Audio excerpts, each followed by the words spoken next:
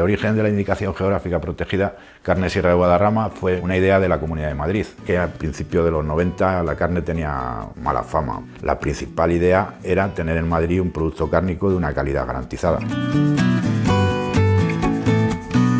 Se puede decir que es una asociación de, ganaderos que producen carne eh, de una manera tradicional, basándose en tres condiciones prácticamente.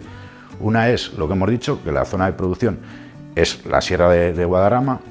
Dos sería las razas, tienen que ser avileño, charolés, limusín o sus cruces.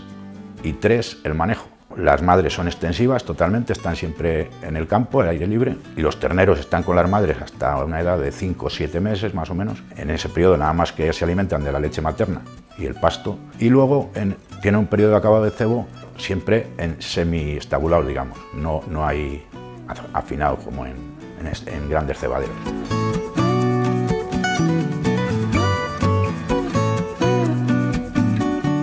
que nos diferencia a carne sierra de Guadarrama, a lo mejor es de otras carnes, es lo que nos marca la situación geográfica en la que estamos.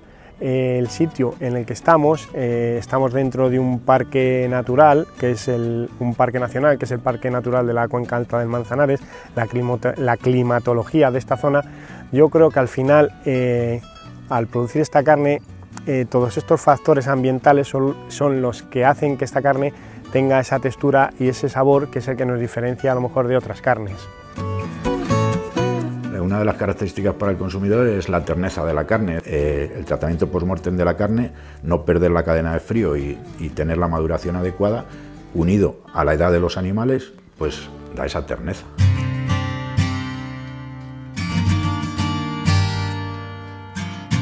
Importante en la ternera Sierra Guadarrama siempre nos va a definir por un color rosa vivo, la carne tiene un aspecto siempre húmedo y la grasa, la grasa importante, infiltración de grasa y luego una capa de grasa subcutánea, que es la que nos dice que, el animal está en gordo ya para consumir. Y además hay piezas que vienen con el sello o el logotipo de carne Sierra Guadarrama.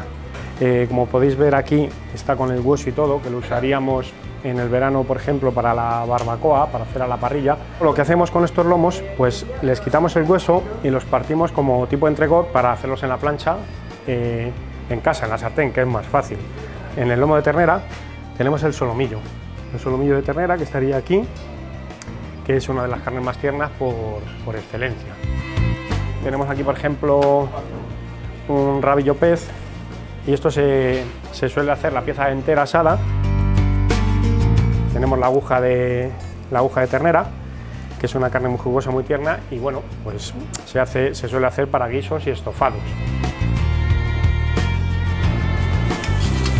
Pues hablando de carne de la sierra, ¿no? Pues eh, limusín, charolés, organolépticamente son razas eh, muy buenas, con, una, con un buen sabor el tema es que se utilizan eh, vacas jóvenes, no llegan año, año y pico, con un poquito de maduración, 10, 12, 15 días como máximo. Yo personalmente no considero que necesite más.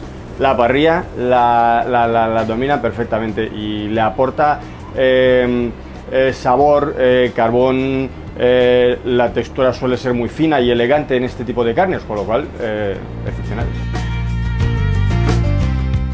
producimos una carne muy natural y algo muy importante que hacemos, que, la gente a lo mejor no se da cuenta, es que cuidamos el entorno y el medio ambiente como, como el que nadie, que no somos fábricas, que no somos que al contrario, hacemos un producto natural siempre cuidando del medio ambiente y de la naturaleza, que eso es importante para mantener lo que tenemos.